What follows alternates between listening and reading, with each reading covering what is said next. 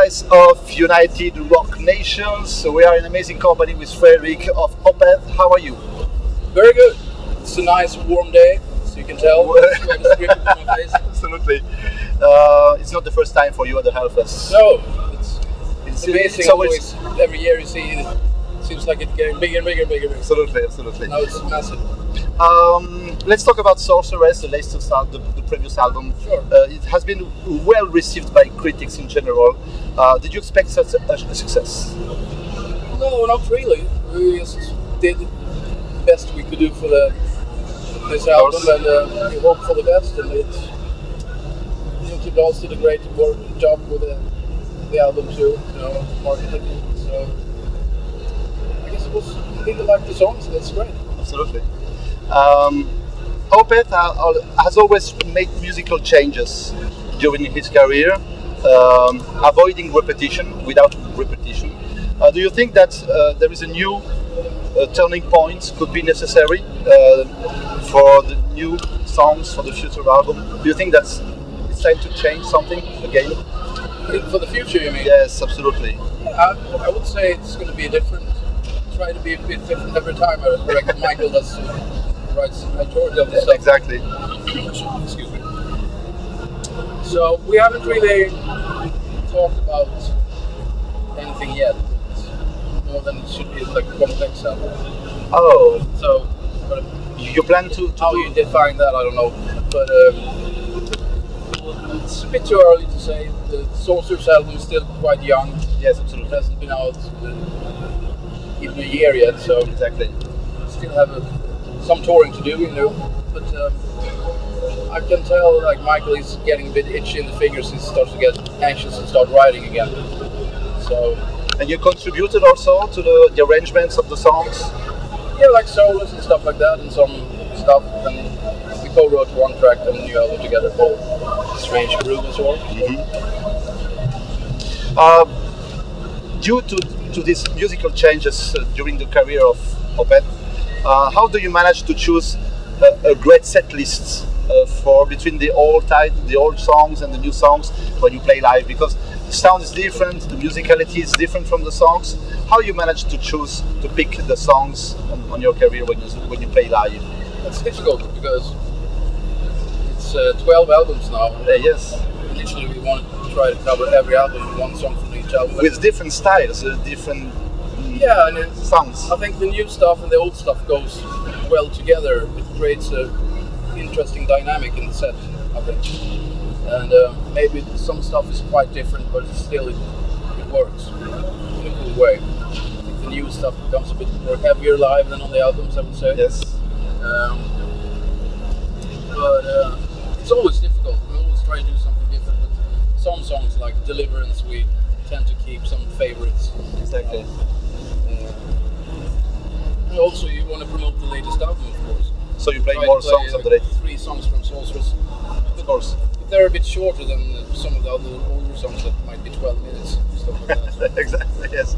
So it's, it's about finding a good balance between the old and the new. And it's not difficult. Like when you play main set today, maybe it's 65% old stuff and 35 new, something like that. Right. Um, the last DVD, Roundhouse Tape, uh, was released nine years ago. Uh, since the band, actually, if I may, we made a DVD. I wasn't in the band at that time, but we did a Royal Albert Hall after that. Yes, but it's, it's different. Um, uh, it's not a, a, um, a, venue, a classical venue, or a festival. Okay. Um, do, do you plan to publish a new DVD on, I don't know, uh, to film a, a, um, a, festival, to film in a, in a big venue? Yes, we actually did film a month ago in Colorado in ah. a great amphitheater called Red Rocks.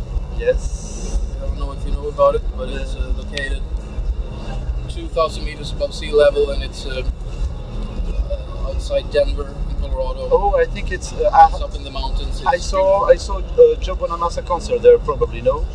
Yeah, yeah I guess so. Yeah. It's in, on the mountain. Uh, yeah, you have two big lives in between stage like the yeah uh, yes, we I, filmed that show and um, we're planning on uh, doing a DVD on it. And when it will be released? Uh, It's not confirmed.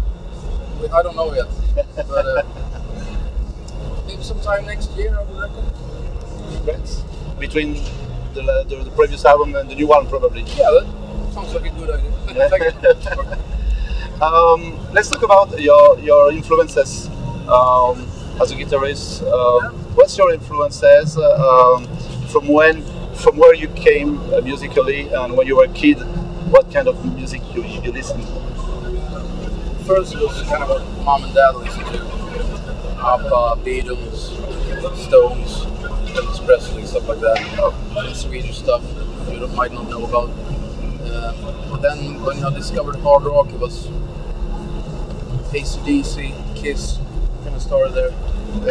uh, and then, of course, Rainbow, Blackmore at the time was born 72, so it's Stargazer album with Dio was Yeah. like one of the first that got me into more heavier stuff. Exactly. And also Dio, Ozzy Osbourne, uh, Gary Moore, all that classic stuff. And Michael Schenker group, the Scorpions. Uli Roth, uh, that first era. What is your first concert? uh, What is the first concert you you, did Well, when, when you were young, when you were a kid? What's the first concert, heavy metal or hard rock concert? It was actually a Kiss concert, but it was when they unmasked. So it was oh, it's a Lick It Up or tour. Uh, uh, Animalize. Animalized Tour, yes. I was just 10 years or 9 years and it was scary big. The second show was, I believe, could have been Iron Maiden.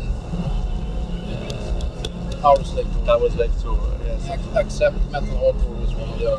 Fantastic. But how is your, your feeling at that time when you see Kiss or Iron Maiden? It's magic, you know. I remember seeing Maiden at the Somewhere in Time tour where they had this, when they had to close up. With, Yes. That was just mind blowing. Also, the Turbo tour with Judas Priest. You never forget those shows when you were kids. And that's the reason why you decide to play guitar and then Yeah, I was. I, was. Uh, Ace Frehley and Angus Young were probably the key where I took it up, and also where I grew up. It was kind of popular with guitar playing at the time. Was when Absolutely. like Ed Van and the and all these amazing players around But road. Halen is different from Ace Frehley or it's more technical. Yeah, absolutely. But the day I realized I wanted to get, you know, you have to practice. You can. It's not a trick. You can just. You can't just lift up a guitar and play. Absolutely. was when I saw this uh, metal non-stop show from Germany. Uh, Westfalen was a classic thing that went on TV in Sweden. And there was bands like Schenker, Yeah. Maiden, Priest, Ozzy, uh, Scorpions, all the classic bands. And I saw Michael Schenker and he had this great tone and that was kind of Absolutely. that definitely lit a spark for me that oh can you really do that with a guitar? And then after that was like Eddie and Yngwie and Blackmore and More technical. Moore, yes. More. Uli Roth. And then Frank- and, Frank and, and then you begin to play, listening to this kind of music. Yeah, absolutely. Then you just dig deeper and deeper and listen back to 70s stuff and then of course new metals. Evolved as done. Absolutely, absolutely. Uh, thank you very much. Uh, we know much more about your influences and the beginning uh, of your life and also about the new DVD. Probably, I don't know. Uh, thank you very much uh, for all the information, and hope you to see you. A great show tonight. Uh, Looking forward to it. and uh, thank you very much, Pleasure. guys, and see you soon with Opeth live and the new DVD. Bye. Hello guys, I'm Fredrik from Opeth and you're watching and listening to United Rock Nations.